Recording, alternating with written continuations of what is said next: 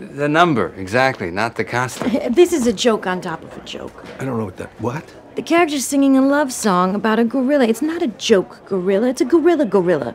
Then when the bottom drops out, If you could see her through my eyes, she wouldn't look Jewish at all. it's a gut punch. I understand the scene. You realize all at once you've allowed yourself to be entertained by a monster. And if you're busy laughing at the joke gorilla, uh, you miss the whole thing. Uh, That's what Bob's saying. She should be beautiful. He's in love with her.